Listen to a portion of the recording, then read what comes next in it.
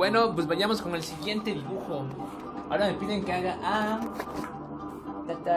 Así que vamos a tomar un receso con el sargento Quero, ¿no?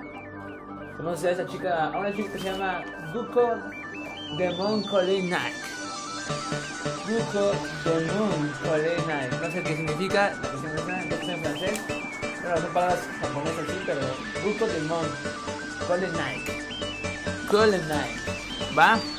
Sacamos a esa chica. Es una chica que se parece a Misty de Oliver Boy. Eh. Una Misty de Oliver Boy.